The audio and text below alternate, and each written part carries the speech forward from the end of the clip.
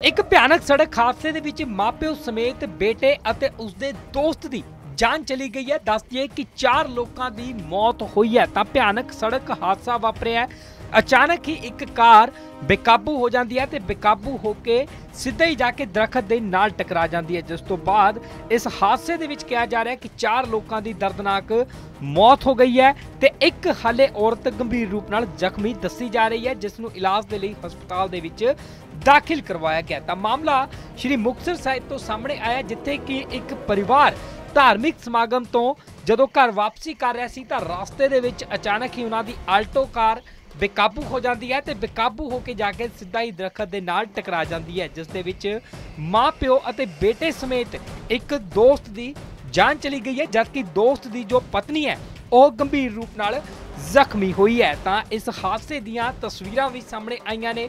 ਤਸਵੀਰਾਂ ਦੇ ਵਿੱਚ ਸਾਫ਼ ਦੇਖਿਆ ਜਾ ਸਕਦਾ ਹੈ ਕਿ ਜੋ ਕਾਰ ਹੈ, ਉਹ ਦਰਖਤ ਦੇ ਨਾਲ ਵੱਜੀ ਹੋਈ ਹੈ ਤੇ ਬੁਰੇ ਤਰੀਕੇ ਦੇ ਨਾਲ ਅਗਲਾ ਹਿੱਸਾ ਨੁਕਸਾਨਿਆ ਗਿਆ ਹੈ। ਤਾਂ ਮਾਮਲਾ ਸ਼੍ਰੀ ਮੁਕਤਸਰ ਸਾਹਿਬ ਤੋਂ ਸਾਹਮਣੇ ਆਇਆ ਜਿੱਥੇ ਕਿ ਇਹ ਭਿਆਨਕ ਸੜਕ ਹਾਦਸਾ ਵਾਪਰਿਆ, ਜਿਸ ਦੇ ਵਿੱਚ ਮਾਂ, ਬੇਟੇ, ਪਿਓ ਸਮੇਤ ਇੱਕ ਦੋਸਤ ਦੀ ਜਾਨ ਚਲੀ ਗਈ ਹੈ। ਪਰਿਵਾਰਕ ਮੈਂਬਰਾਂ ਦਾ ਰੋ ਰੋ ਕੇ ਬੁਰਾ ਹਾਲ ਹੈ। ਧਾਰਮਿਕ ਸਮਾਗਮ ਤੋਂ ਇਹ ਪਰਿਵਾਰ ਵਾਪਸੀ ਕਰ ਰਿਹਾ ਸੀ ਤੇ ਰਸਤੇ ਦੇ ਵਿੱਚ ਇਹ ਭਾਣਾ ਵਰਤ ਗਿਆ।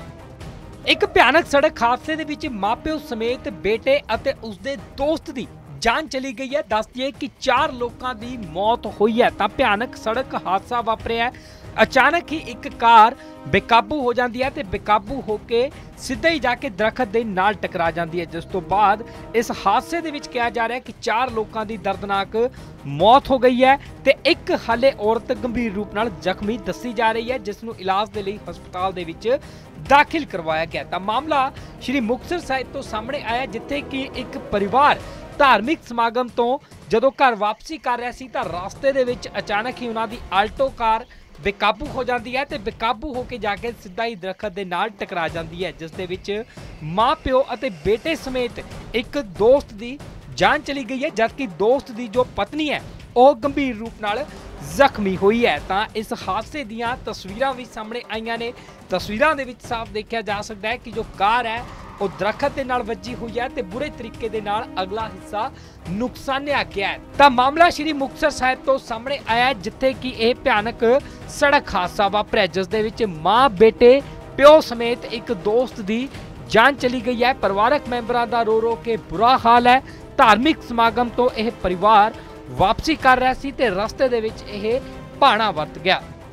ਇੱਕ ਭਿਆਨਕ ਸੜਕ ਹਾਦਸੇ ਦੇ ਵਿੱਚ ਮਾਪਿਓ ਸਮੇਤ ਬੇਟੇ ਅਤੇ ਉਸਦੇ ਦੋਸਤ ਦੀ ਜਾਨ ਚਲੀ ਗਈ ਹੈ। ਦੱਸ ਦਈਏ ਕਿ ਚਾਰ ਲੋਕਾਂ ਦੀ ਮੌਤ ਹੋਈ ਹੈ। ਤਾਂ ਭਿਆਨਕ ਸੜਕ ਹਾਦਸਾ ਵਾਪਰਿਆ ਅਚਾਨਕ ਹੀ ਇੱਕ ਕਾਰ ਬੇਕਾਬੂ ਹੋ ਜਾਂਦੀ ਹੈ ਤੇ ਬੇਕਾਬੂ ਹੋ ਕੇ ਸਿੱਧਾ ਹੀ ਜਾ ਕੇ ਦਰਖਤ ਦੇ ਨਾਲ ਟਕਰਾ ਜਾਂਦੀ ਹੈ। ਜਿਸ ਤੋਂ ਬਾਅਦ ਇਸ ਹਾਦਸੇ ਦੇ ਵਿੱਚ ਕਿਹਾ ਜਾ ਰਿਹਾ ਕਿ ਚਾਰ ਲੋਕਾਂ ਦੀ ਦਰਦਨਾਕ ਮੌਤ ਹੋ ਗਈ ਹੈ ਤੇ ਇੱਕ ਹਾਲੇ ਔਰਤ ਗੰਭੀਰ ਰੂਪ ਨਾਲ ਜ਼ਖਮੀ ਦੱਸੀ ਜਾ ਰਹੀ ਹੈ, ਜਿਸ ਨੂੰ ਇਲਾਜ ਦੇ ਲਈ ਹਸਪਤਾਲ ਦੇ ਵਿੱਚ ਦਾਖਲ ਕਰਵਾਇਆ ਗਿਆ ਤਾਂ ਮਾਮਲਾ ਸ਼੍ਰੀ ਮੁਕਤਸਰ ਸਾਹਿਬ ਤੋਂ ਸਾਹਮਣੇ ਆਇਆ ਜਿੱਥੇ ਕਿ ਇੱਕ ਪਰਿਵਾਰ ਧਾਰਮਿਕ ਸਮਾਗਮ ਤੋਂ ਜਦੋਂ ਘਰ ਵਾਪਸੀ ਕਰ ਰਿਹਾ ਸੀ ਤਾਂ ਰਸਤੇ ਦੇ ਵਿੱਚ ਅਚਾਨਕ ਹੀ ਉਹਨਾਂ ਦੀ ਆਲਟੋ ਕਾਰ ਬੇਕਾਬੂ ਹੋ ਜਾਂਦੀ ਹੈ ਤੇ ਬੇਕਾਬੂ ਹੋ ਕੇ ਜਾ ਕੇ ਸਿੱਧਾ ਹੀ ਦਰਖਤ ਦੇ ਨਾਲ ਟਕਰਾ ਜਾਂਦੀ ਹੈ, ਜਿਸ ਦੇ ਵਿੱਚ ਮਾਂ, ਪਿਓ ਅਤੇ ਬੇਟੇ ਸਮੇਤ ਇੱਕ ਦੋਸਤ ਦੀ ਜਾਨ ਚਲੀ ਗਈ ਹੈ, ਜਦਕਿ ਦੋਸਤ ਦੀ ਜੋ ਪਤਨੀ ਹੈ, ਉਹ ਗੰਭੀਰ ਰੂਪ ਨਾਲ ਜ਼ਖਮੀ ਹੋਈ ਹੈ। ਤਾਂ ਇਸ ਹਾਦਸੇ ਦੀਆਂ ਤਸਵੀਰਾਂ ਵੀ ਸਾਹਮਣੇ ਆਈਆਂ ਨੇ। ਤਸਵੀਰਾਂ ਦੇ ਵਿੱਚ ਸਾਫ਼ ਦੇਖਿਆ ਜਾ ਸਕਦਾ ਹੈ ਕਿ ਜੋ ਕਾਰ ਹੈ ਉਹ ਦਰਖਤ ਦੇ ਨਾਲ ਵੱਜੀ ਹੋਈ ਹੈ ਤੇ ਬੁਰੇ ਤਰੀਕੇ ਦੇ ਨਾਲ ਅਗਲਾ ਹਿੱਸਾ ਨੁਕਸਾਨਿਆ ਗਿਆ ਹੈ। ਤਾਂ ਮਾਮਲਾ ਸ਼੍ਰੀ ਮੁਕਤਸਰ ਸਾਹਿਬ ਤੋਂ ਸਾਹਮਣੇ ਆਇਆ ਜਿੱਥੇ ਕਿ ਇਹ ਭਿਆਨਕ ਸੜਕ ਹਾਦਸਾ ਵਾਪਰਿਆ, ਜਿਸ ਦੇ ਵਿੱਚ ਮਾਂ, ਬੇਟੇ, ਪਿਓ ਸਮੇਤ ਇੱਕ ਦੋਸਤ ਦੀ ਜਾਨ ਚਲੀ ਗਈ ਹੈ। ਪਰਿਵਾਰਕ ਮੈਂਬਰਾਂ ਦਾ ਰੋ ਰੋ ਕੇ ਬੁਰਾ ਹਾਲ ਹੈ। ਧਾਰਮਿਕ ਸਮਾਗਮ ਤੋਂ ਇਹ ਪਰਿਵਾਰ ਵਾਪਸੀ ਕਰ ਰਿਹਾ ਸੀ ਤੇ ਰਸਤੇ ਦੇ ਵਿੱਚ ਇਹ ਭਾਣਾ ਵਰਤ ਗਿਆ।